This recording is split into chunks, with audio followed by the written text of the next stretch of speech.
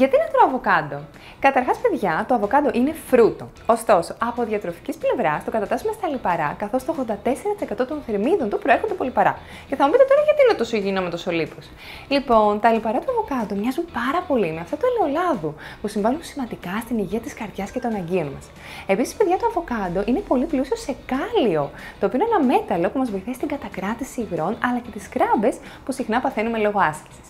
Μάλιστα, να θυμάστε ότι ανταγωνίζεται και τον αρχηγό του καλίου, τη γνωστή μας μπανάνα.